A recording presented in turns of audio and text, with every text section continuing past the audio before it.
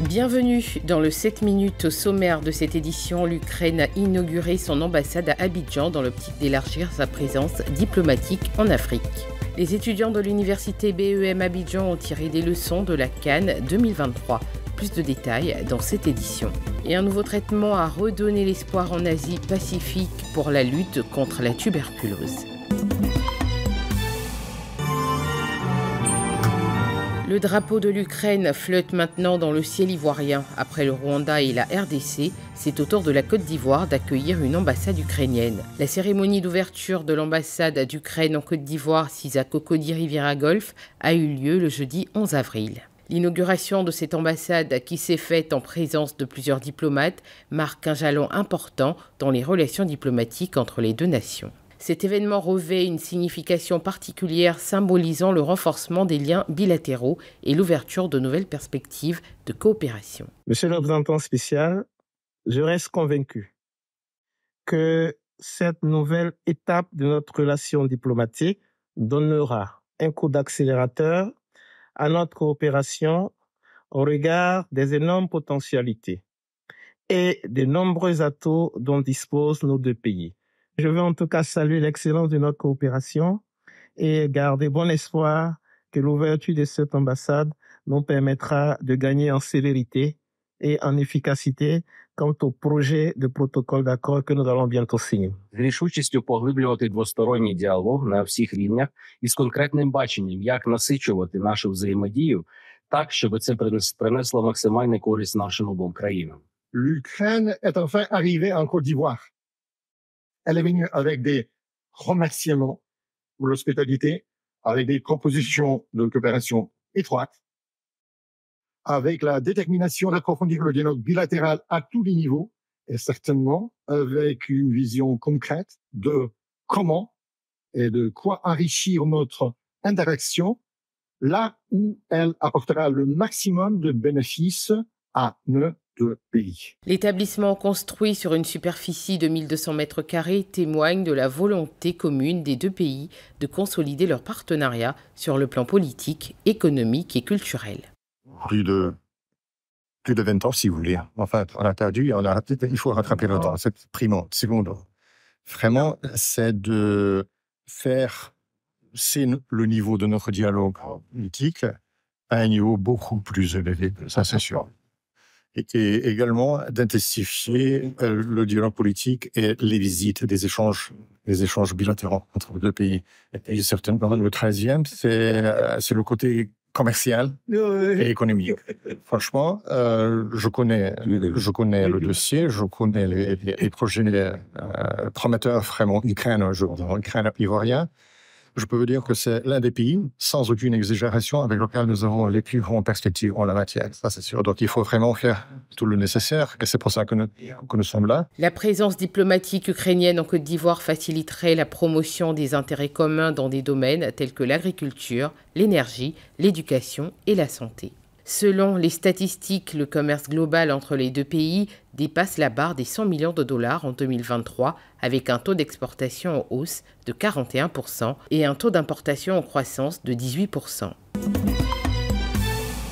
Remercier la population ivoirienne pour son soutien financier lors des élections législatives du 2 décembre dernier à Tiasalé, tel est le principal message de l'honorable Assalé Tiemoko lors de sa conférence de presse tenue le jeudi 11 avril à la librairie Carrefour de Cocody-Saint-Jean.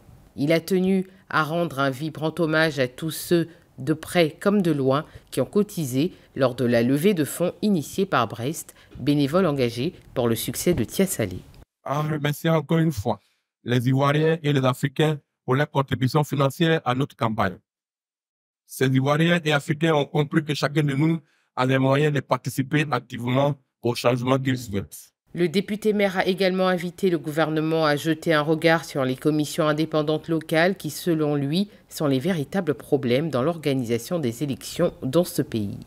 À prendre des dispositions légales pour que les seuils locales ne soient plus la propriété privée de certains candidats pendant les élections, qu'elles soient locales ou nationales.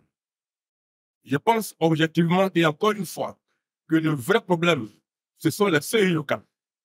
Ce sont elles qui participent pour certaines à fausser complètement le jeu électoral sur le terrain qui orchestre les fraudes et qui cause les atteintes les plus graves à la confiance et à l'intégrité de notre système électoral. Cette forte mobilisation des populations a permis aux candidats indépendants de Salé de recueillir plus de 16 millions de francs CFA pour sa campagne lors des élections. S'imprégner du savoir-faire des acteurs qui ont participé à la réussite de la Coupe d'Afrique des Nations 2023 qui a eu lieu en terre ivoirienne, c'est l'objectif des étudiants de l'université de BEM à Abidjan. Parce que la thématique euh, avait un rapport avec la gestion des compétitions et la gestion des infrastructures nous intéressait au plus haut point. Nous sommes donc venus partager notre expérience avec ces jeunes, mais surtout partager avec eux un certain nombre euh, d'anecdotes, de best practices qui ont permis d'organiser ce que tout le monde s'accorde à dire la plus belle des cannes jamais organisées en Afrique. Des thématiques qui ont suscité l'intérêt des étudiants qui s'en sont donnés à cœur joie lors de la séance dédiée aux questions. Pour la responsable initiale de BEM Abidjan, la jeunesse est symbole de réussite pour le pays. Nous avons une population majoritairement jeune et il faut dire que les jeunes participent au dynamisme de l'économie ivoirienne. Vous, vous avez constaté avec moi que la plupart en fait des panélistes ici présents étaient des jeunes. Donc la Côte d'Ivoire a bien voulu faire confiance en cette jeunesse-là. Une centaine d'étudiants ont tenu à répondre présent à cette conférence spéciale Cannes. Et pour finir, hors de nos frontières, un traitement plus rapide et nettement plus efficace contre la tuberculose pharmacorésistante est en cours de déploiement dans la région Asie-Pacifique. Un patient prenait 17 à 20 comprimés pendant 9 à 11 mois. Aujourd'hui, il s'agit du traitement BEPAL. Comme vous pouvez le voir, le nombre de comprimés est moins élevé et ces médicaments doivent être pris régulièrement pendant 6 mois seulement. La différence, c'est qu'il s'agit de 20 comprimés très difficiles à prendre. Je ne sais pas ce qu'il en est pour les autres personnes qui les prennent. Mais avec le Bépal, il faut au moins deux comprimés et c'est plus efficace. J'ai continué pendant six mois jusqu'à ce que je sois guéri.